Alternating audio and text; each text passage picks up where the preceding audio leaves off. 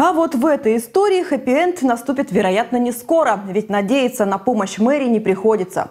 Напомним, к нам в редакцию обратились неравнодушные бичане, проживающие в центре города.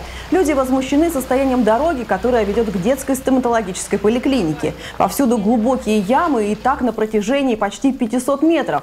Наша редакция попыталась выяснить, кому принадлежит данная дорога, и наш первый запрос был в мэрию. И вот каков ответ, цитирую. В реестре объектов муниципальной собственности указанный проезд не значится. И с учетом изложенного правовые основания для распоряжения указанным проездом отсутствуют. Между тем мы обратились к юристу, и его мнение расходится с мнением администрации. Дорог, которые не относятся никому и которые, за которые никто не отвечает, быть не может. Э, Таким образом, получается, что данный участок внутриквартального проезда э, относится, скорее всего, к собственности муниципалитета. И тот факт, что данная дорога не учтена в качестве муниципальной собственности, отсутствует в реестре муниципальной собственности города, э, не свидетельствует о том, что она не является муниципальной.